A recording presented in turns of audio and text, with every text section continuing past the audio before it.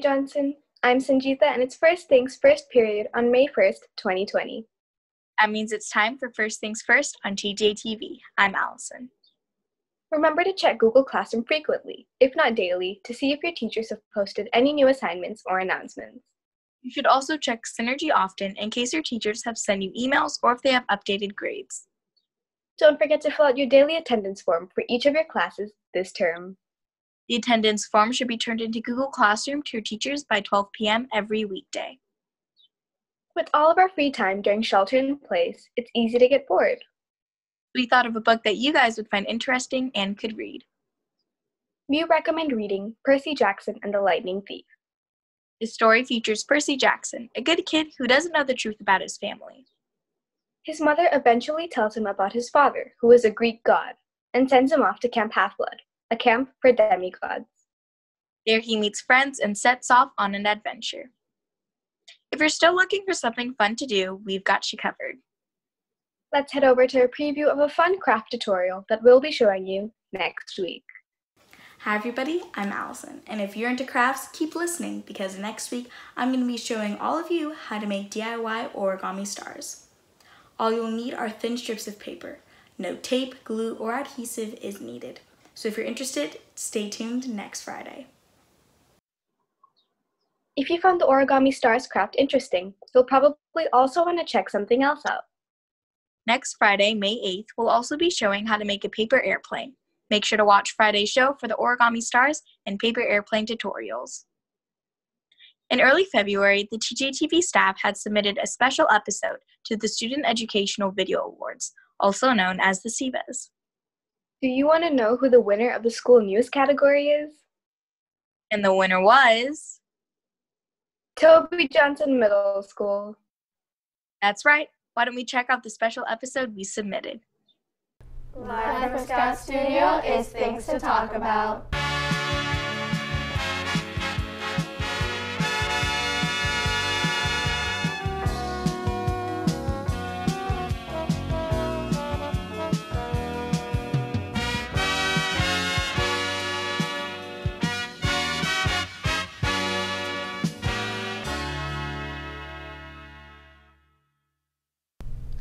Good morning, Jags. Today we're talking about respect. I'm Ayla.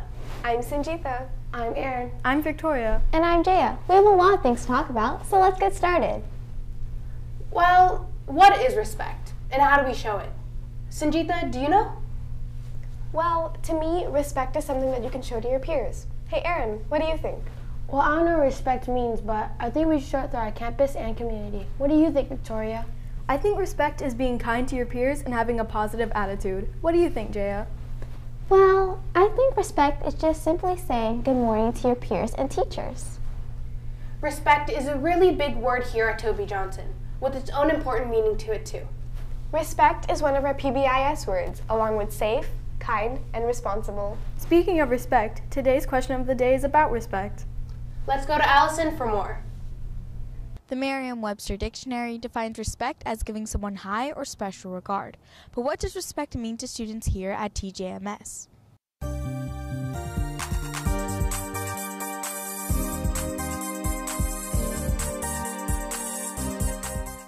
Respect means to me is as if you're giving the attention or something that a person needs. Like a public speaker wants the attention of its audience. Um, respect means like, you know, respecting your elders or not talking back to them. Respect means to me when you admire somebody and you listen to what they have to say. Respect means being modest and kind to other people. Well, growing up, respect has always been like respect your elders. So I lived by that for a very long time, but that doesn't mean like don't respect people who are younger than you. You should respect everyone and like care for everyone. With respect being one of Toby's main focus words, it's great to hear that students know what it means. Thanks, Allison. Let's go to the backyard with Allison and Sienna for more. Hey Sienna, do you want to know something crazy? Sure. California is all about agriculture, right? Yeah. Well, did you know that the agriculture industry in California is worth $47.1 billion? Whoa, I also found something pretty interesting about farming. Did you know that California produces 99% of some of the nation's crops? Some of them are figs, olives, and almonds. That's insane. But if you think about it, those numbers wouldn't even be possible without farmers. Yeah, they're the ones that plant, water, and harvest all the produce we eat. Speaking of agriculture, let's go to Harpreet for more information about the Elk Grove Farmers Market. The Elk Grove Farmers Market is held every Saturday from 8 to 12 p.m. Farmers from all over Northern California come to sell their produce. Sacramento has a region of roughly 1.5 million acres of farmland, which grows produce full of vitamins and nutrients that are fresh and healthy. Farm to fork means to me that the food is fresh. It's something that was grown and picked um, recently because California, Sacramento, is the farm to fork capital. Well, farm to fork would mean that it's uh, locally grown, locally processed, and then sold locally. So you get the very freshest ingredients into any meal. And this would be pasture to platter, maybe. Farm to Fork is a very important part of the farmers market. Come and support your local farmers. Don't forget, it's open every Saturday. Reporting for TJTV, I'm Harpreet. Since we're talking about respect, I think it's really important that we show respect to all the farmers and laborers that put food on our plates. So next time you take a bite of a carrot or any other produce, take a moment to appreciate that we live in the farm to fork capital of the nation. And how lucky we are to have such a great farmers market in our community. Thanks, Allison, Sienna, and Harpreet. Don't forget to go to the farmers market to get the freshest produce. Yesterday, there was a march for a dream parade to honor Martin Luther King Jr. Let's go to Brielle for more on this story. Monday, January 20th was Martin Luther King Jr. Day. At Sacramento City College, there was a March for the Dream parade to honor and celebrate Martin Luther King's birthday and him giving rights to everyone no matter their color. His actions were a big part of the human rights movement as it still affects our society today, where everyone has a voice. So why are you participating in this parade today? Well, I think it's very important that we keep the legacy of Dr. Martin Luther King alive. Uh, his spirit, his dream uh, was a dream for me that my parents also had for me, and I want to make sure that it is kept alive for my grandchildren and, and for all the, all the all people. So why are you participating in this parade today? So the city of Elk Grove is the sixth most racially diverse city in the nation. So we fully support diversity, inclusion, and having the community come together as one. So we really wanted to come out and show our support for the city of Sacramento and our community as a whole. So why are you guys participating in this parade today? Um, so uh, personally, I thought it would be a good idea to participate because we should all be doing our part to keep the dream alive every day. And you know, um, being able to see everyone come together like this really gives me hope. So yeah. Um, well, if you notice we're all part of City Year, and this is one of the volunteer services options we can pick. And so, I I think his uh, Martin Luther's like dream really it's important. Uh, yeah, we're all part of City Year, so we're dedicating a year of service to the city. So participating here, honoring MLK, was a perfect opportunity for us. Martin Luther King Jr. once said, As we walk, we must make the pledge that we shall always march ahead. We cannot turn back. This march is bringing the community together to cherish the special day of Martin Luther King's achievements and his influential actions as a civil rights leader. Reporting to TJTV, I'm Brielle Dam. Thanks, Brielle. Martin Luther King Jr. made a huge impact on our society today. It's amazing how he continues to motivate people to show respect to one another. We'll continue this conversation after this quick break. R E S P E C T.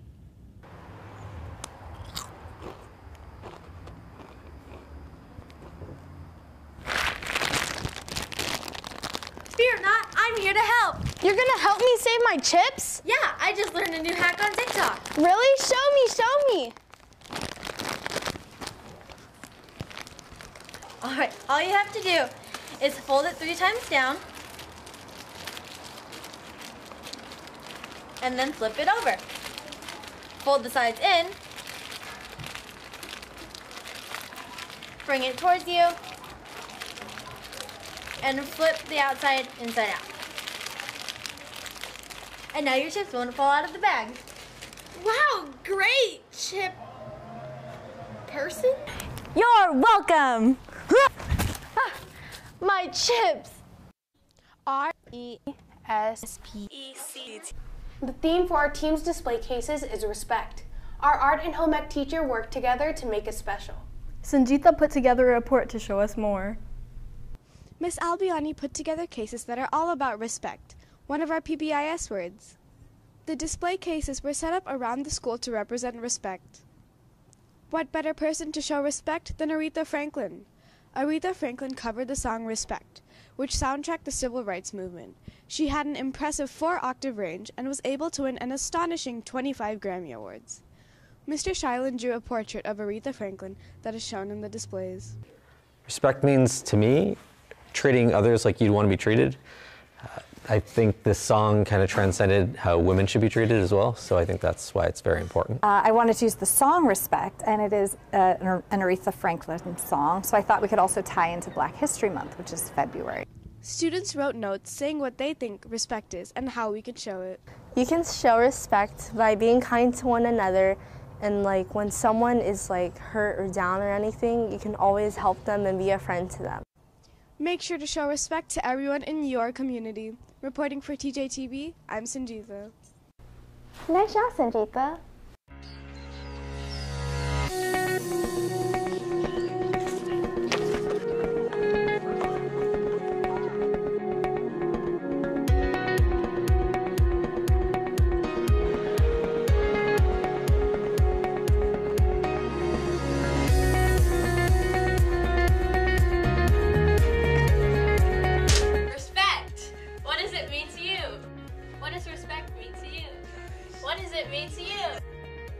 Think respect means treating things nicely and treating other people how you want to be treated. I think that respect means thinking about the people around you and behaving in a way that is mindful of your impact on others. I think respect means being considerate of other people's feelings and treating them the way you would like to be treated. How long do you think Brielle was running? I think about a minute. Oh, got a minute? I know we got a minute. Then we've got time for cake. Let's learn how to make a delicious banana cake from Pauline Ventura.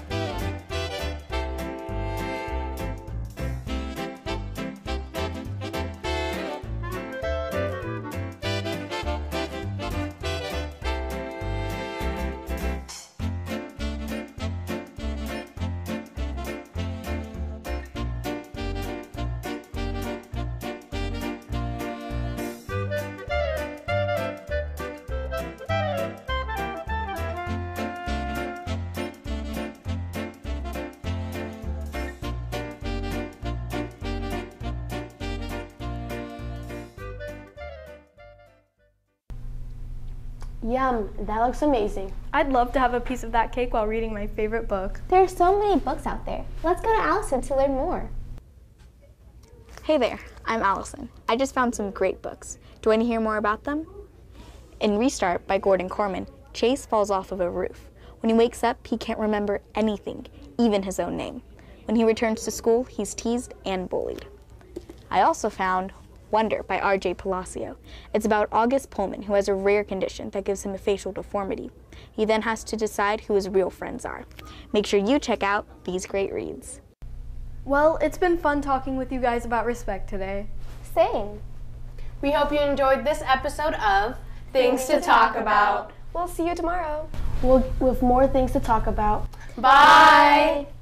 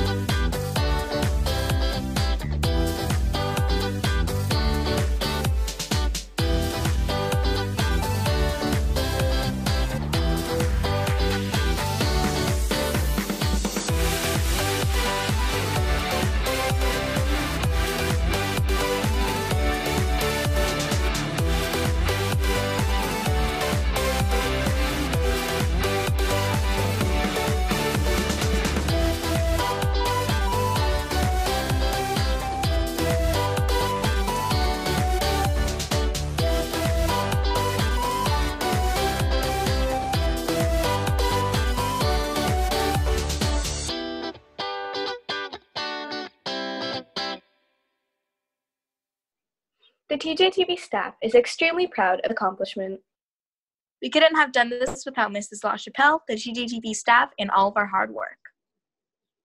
Speaking of awards, let's go to Mrs. Kincaid and Mrs. Zhu for this week's virtual Jag Swag poll. It is virtual Jag Swag time, people. May 1st. It's already May. Can't even believe it. It's gonna be May. Isn't May 1st May Day? Yeah, it is. But uh, Justin Timberlake has totally changed it with "It's gonna be May." Oh I, my! I can't stop singing it. wow. I mean, that is amazing coming from you. Like all the singing. Yeah. Okay. Hey, why don't you tell us how many uh, JAGSWAG students have earned this week? So total entire entire school virtual JAGSWAG submitted by teachers, one thousand four hundred 50 Jag Swags. So we are going to kick off with the Aggie 7. Aggie 7, um, 363 were submitted. That's Ms. right. And we're going to go to number 283, Marin Matuska. I thought it was Matsuka. Oh, well, we'll be able to find you, Marin. Yeah. Yeah. I know it. And um, it looks like her teacher, um, Ms. Ganser. Mm, mm, mm.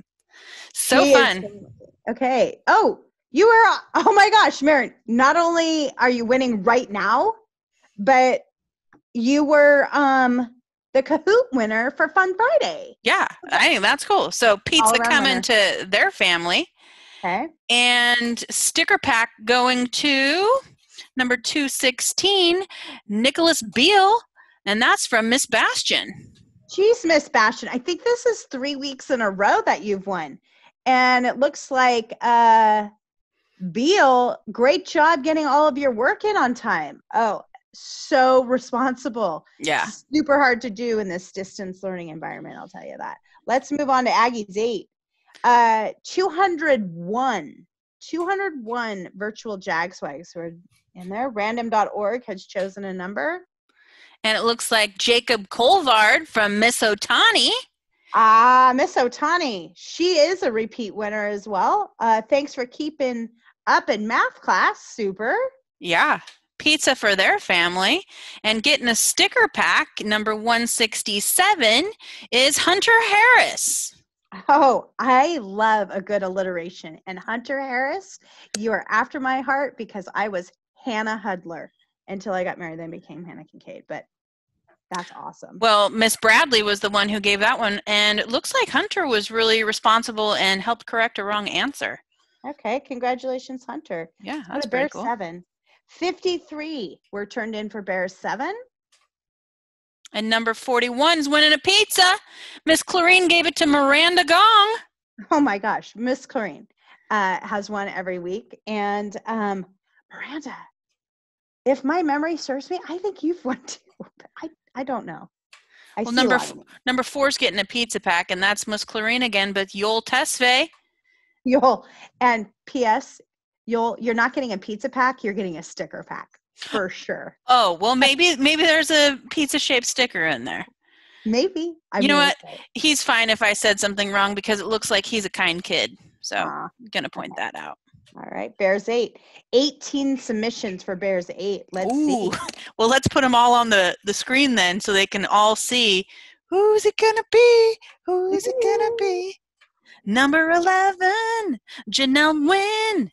All right. Janelle, given by Miss Clarine. Sticker pack going to McKenna Kikamoto. Mm. Surprise, surprise, Clarine there. All right. Miss Crane's all over it. All right, so we are now into Hornet 7, 156 entries. Let's see what our Hornets are doing. 110, Aylin Bustillo Valencia. Oh, That's one of my kids. okay. Well, performing in your class as well as Rashid. Rashid. All right. Although with her email address, I always want to say Dr. Ashid. Dr. Rashid. Oh, yeah, that's true. All right, so pizza packet going pizza going there, and the Yeah. sticker pack is going to 115, Nolan Manawa. Oh, you know what? He was a um he also was a big prize winner, Mrs. So he won the Chromebook. All right. Lucky kid. And you know what? Super responsible. So that's rad. Yeah, and um gosh, I'd want to sit next to him. Good luck. Hornets Sure. 8. Looks like we're going to 192 on that one. All right. And number 140 is winning the pizza.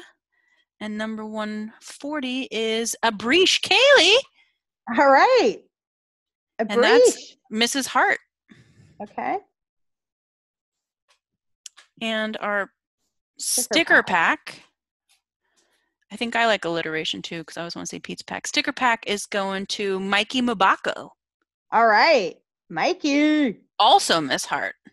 Wow. Okay.